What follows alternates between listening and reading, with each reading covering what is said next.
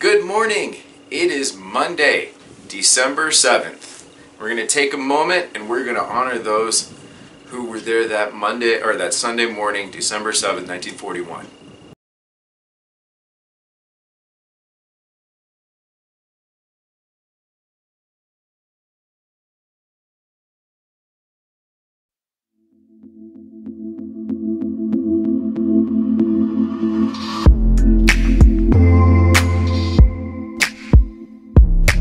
Amazing how we're basically 80 years out from what happened that day in Pearl Harbor.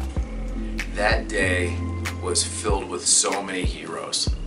So many people thought it was a normal Sunday, having church, you know, relaxing, taking the weekend, whatever it was. And next thing you know, they were thrust into action. No matter where you're at, if you're a veteran, if you're currently in service, we appreciate you. We thank you for your service. And if you are affiliated with anybody who happens to still be around who was there that day, please make sure to give them an extra special thank you and hug from all, all of us here at Breakthrough. Now, it is Monday, so let's jump right in. We have work to do.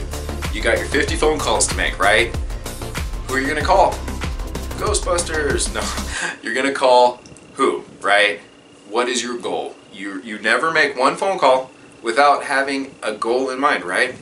Are you looking to talk to buyers, sellers? Are you looking to make your fifth, sixth, seventh, eighth, ninth contact? Whatever it is, outline it first. Visualize that win and then get to it. Make those phone calls. All right, you got your 50. At this point in time, you've made so many phone calls. I can't even tell you. Um, it's crazy. Uh,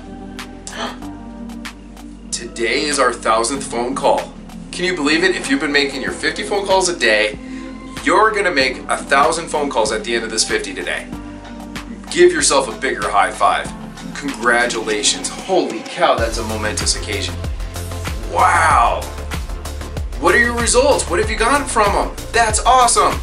All right, so next to that, yeah, it's Monday. So we are working on our Christmas stuff and we are planning our next open house, which is gonna be on the 11th. All right, so I'll let you get right to it. Thank you so much for watching. Please like, share, comment. I'll talk to you tomorrow.